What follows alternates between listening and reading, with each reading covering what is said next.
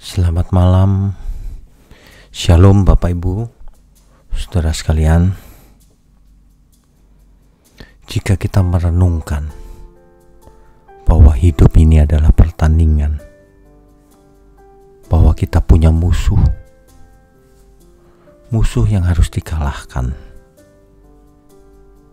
kita harus tahu bahwa manusia jatuh ke dalam dosa tidak bisa menyalahkan siapa-siapa kecuali dirinya sendiri. Itulah sebabnya sebenarnya musuh terbesar manusia adalah dirinya sendiri. Sebab setan tidak berhak untuk memaksa manusia menjadi jahat. Demikian juga Tuhan tidak memaksa agar manusia hidup baik hidup sesuai kehendak Tuhan. Semuanya karena keputusan manusia itu. Jika seseorang panas hatinya, sakit hati, dan ia ingin membalas dendam kepada yang menyakiti hatinya, inilah awal mula dari kesalahan terbesar yang dibuat oleh manusia. Dengan kepahitan dan sakit hatinya itu, ia akan diseret oleh hawa nafsunya untuk mencelakakan orang yang menyakitinya. Ini sangat berbahaya.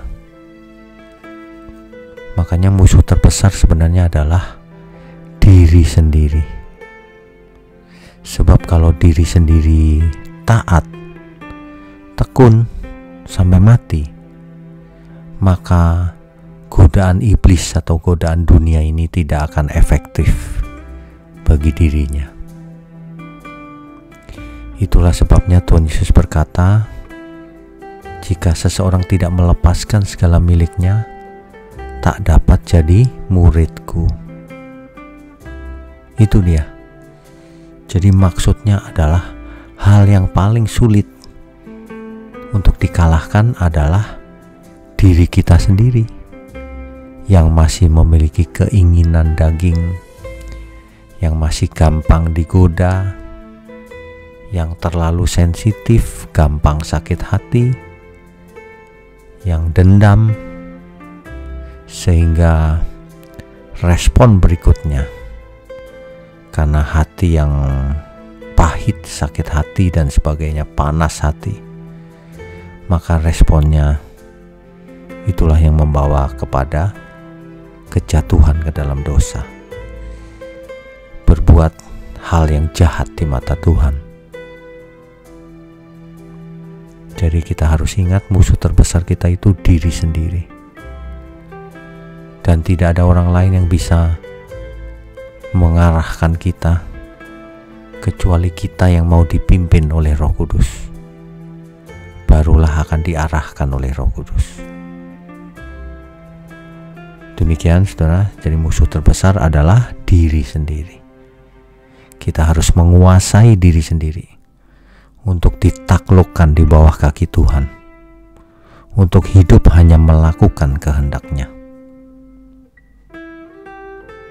Mari kita renungkan kebenaran ini agar kita tidak terjerat oleh diri sendiri. Sebab diri sendiri itu licik. Ia bisa membohongi diri sendiri bahwa dirinya benar. Meskipun sebenarnya salah. Demikian Bapak Ibu, Saudara sekalian. Selamat beranjak tidur malam. Tuhan Yesus memberkati kita semua. Amin.